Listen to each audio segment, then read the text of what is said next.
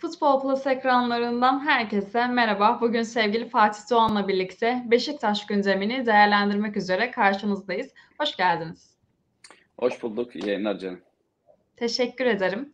Beşiktaş için büyük gün. Trabzonspor'un evinde Trabzonspor'la karşılaşacak. Aslında Beşiktaş uzun süredir de yenilmiyor ama bugün de zorlu bir maçı var. Trabzonspor deplasmanı. Neler söylersiniz maç hakkında? Beşiktaş'ı genel olarak değerlendirecek olursanız neler söylersiniz?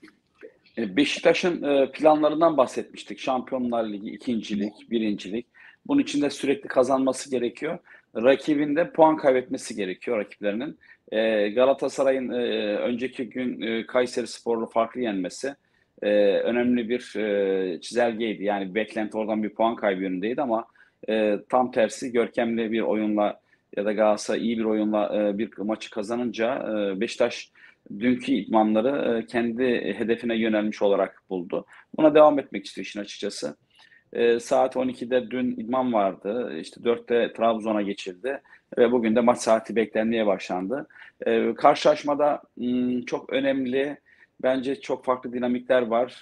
Beşiktaş karşılaşmayı büyük bir final gözüyle bakıyor. Büyük bir dönüşüm olarak bakıyor. Eğer Trabzon maçını da kazanabilirse deplasmanda kazanırsa bir sonraki hafta e, bay geçecek ve 3 puanı direkt alacak Hatay karşısında. Bundan dolayı da kalan 9 maçın ikisi zaten bu şekilde Gaziantep ve Hatay maçları. E, Trabzon'u aradan çıkardığı zaman geriye 6 final maçı kalıyor ki e, bu anlamda sakatlıkların ve sıkıntıların olduğu bir dönem Ceren. E, Beşiktaş'ın tek hedefi var. Trabzon'u kazanıp e, hedeflerine odaklanmak, e, canlı tutmak. E, bunun için e, şu anda Trabzon'da e, bunun hazırlığı var. E, akşam da e, sanırım bunun yansımalarını e, göreceğiz. Ama Trabzon'dan aldığımız bilgiler şu yönde. Seyirci uzun süredir yoktu biliyorsun. Trabzonspor'un yaşadığı sonuçlardan hem saha içinde teknik direktörü yok, seyircisi yok. Bu tür sıkıntılar vardı ama e, öğrendiğim kadarıyla Trabzon tribünleri yarın Beşiktaş karşısında dolu olacak. E, bu da e, yeni bir motivasyon için, yeni başlangıç için e, karşılaşmanın kolay olmayacağını, zor olacağını gösteriyor. Aslında Trabzonspor derbilerde biraz farklı oynuyor. Yani normal lig performansına bakarsak derbilerde farklı bir Trabzon'u izliyoruz. E, doğru tabii ama denklemler çok değişti. Yani e, derbilerde özellikle Beşiktaş maçlarına baktığı zaman en son 2020 yılıydı sanırım. Orada bir e, şey var. Yani e, oran olarak da e, istatistik olarak da son yıllarda Trabzonspor'un e, bir e, şeyini görüyoruz, üstünlüğünü görüyoruz. Fakat bunlar e, bulunduğunuz şartlarla da alakalı. Yani Abdullah Avcı ayrıldı.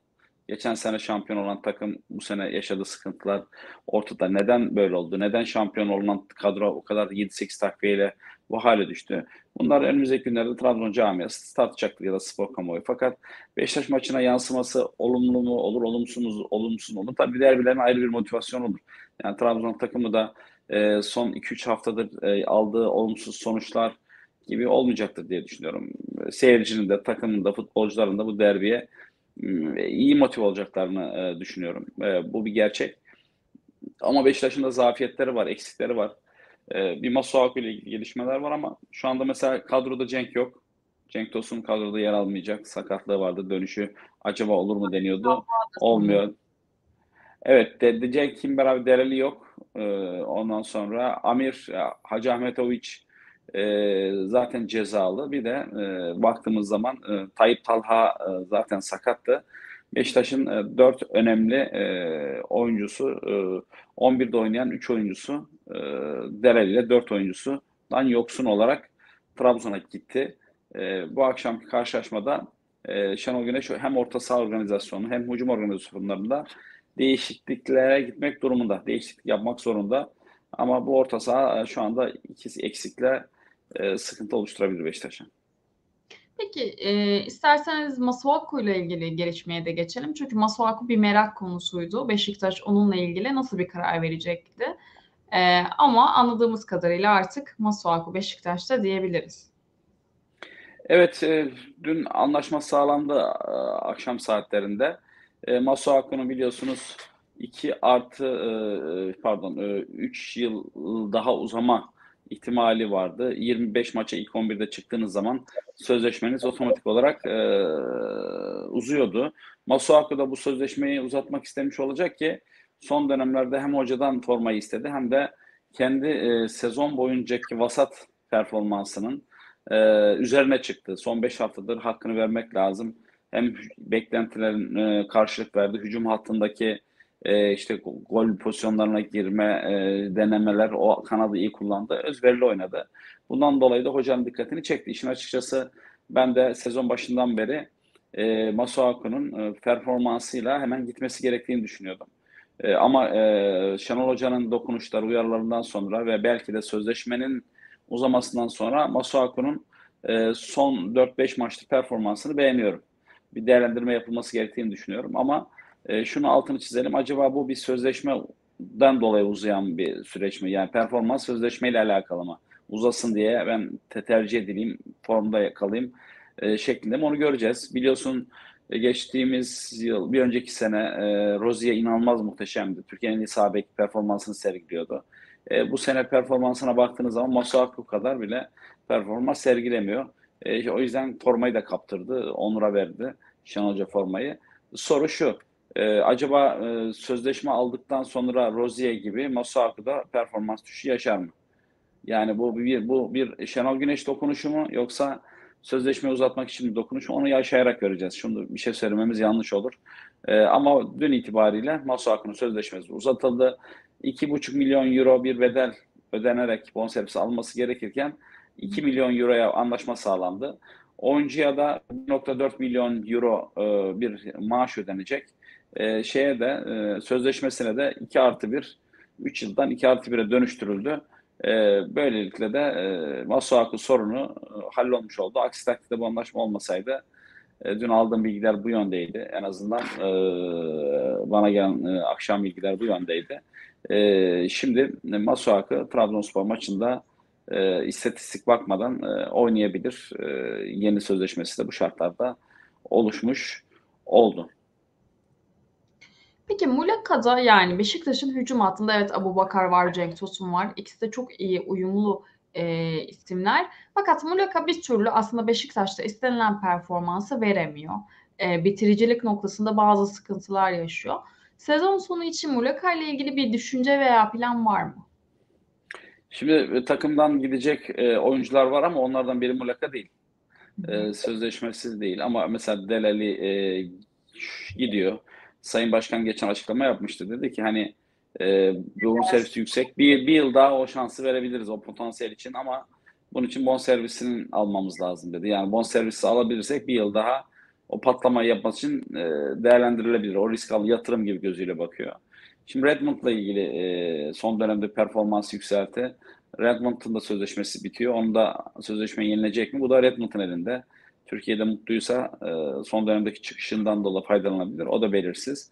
Yine e, baktığımız zaman birçok ismi işte Masuaka sorunu çözüldü. O sorun olmaktan kalktı.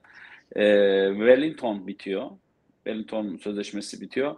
Beşiktaş da bu konuda kesin kararını vermedi. Yani Wellington'la yollar ayırıp yeni bir e, süreç olabilir. Sayısın sözleşmesi var ama o da gitmek istiyordu devre arasında. Olmayınca sezon sonu yeniden tekrar o kartları açabilir. En, Enkudu e, biliyorsunuz gidiyor. Sözleşmesi bitiyor. Hatta 3 e, ay, 2 ay önce e, Ocak arasında transfer döneminde e, Adana Demirspor talip olmuştu ama oyuncu e, istememişti. Maliyetlerini daha Beşiktaş'ta aldığından daha yüksek maaş isteyince e, Adana Demirspor vazgeçmişti.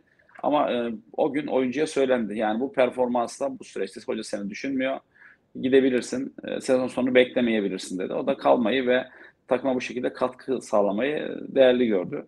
E, Enkudu'nun durumu da sezon sonunda yeni bir anlaşma süreci olursa e, bakılacak ama mevcut şartlarda şu anda Beşiktaş yönetimi onu düşünmüyor.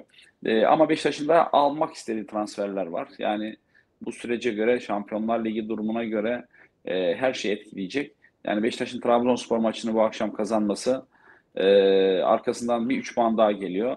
Lig yarışında, puan yarışında e, kendisini canlı tutacaktır. En azından Galatasaray'ın puan kaybetme ihtimalinin peşinden koşacaktır. E, yine Fenerbahçe'nin de hakeza bu yarışın içerisindeki durumdan dolayı. Ama gerçekten e, bu akşam çok güçlü bir derbi izleyeceğiz. İyi bir derbi izleyeceğiz. Ben e, Trabzonspor'un yaşadığı sıkıntılardan, motivasyonsuzluktan, hoca belirsizliğinden, e, hedefsiz kalışından e, ve son dönemde yaşadığı puanlardan dolayı e, ve Beşiktaş'ın da motivasyonundan dolayı bu kadar eksiye rağmen, hani 3-4 eksiye rağmen e, Beşiktaş'ı e, galibiyete yakın görüyorum. E, istatistikler değişebilir. Yani Trabzon'un son 3-4 yıllık bariz üstünlüğü e, bu maçta değişebilir kanaatindeyim. Şartlar Beşiktaş lehine gözüküyor.